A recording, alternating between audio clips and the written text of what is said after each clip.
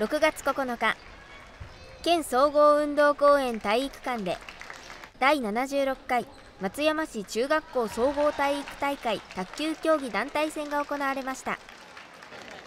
卓球の団体戦には松山市内から男子27校女子24校が参加。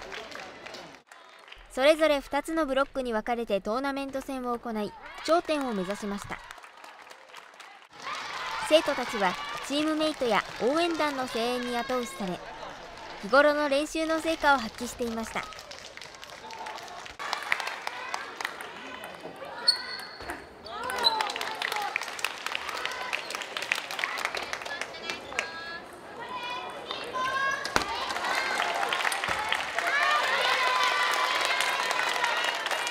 競技の結果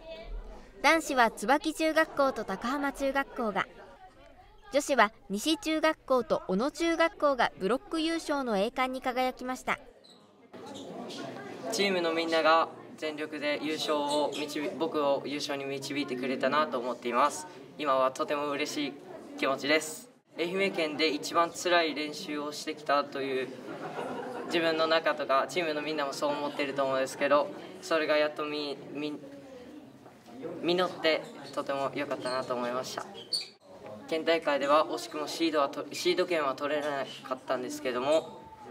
県大会でも優勝を目指して高浜中学を頑張りたいなと思っています。新人戦で悔しい思いをしたのでその悔しい思いを前に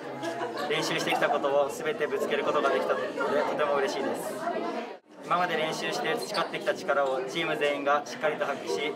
最後まで戦い抜くことができたことが勝因だと思います。県大会では決勝戦を目標に練習しているので決勝戦まで行き最後には四国大会をに出場できるように頑張りたいです。市優勝という一つの目標を達成することができてすごく嬉しいです。チーム全員で励まし合って笑顔で練習の成果を出すことができたからです。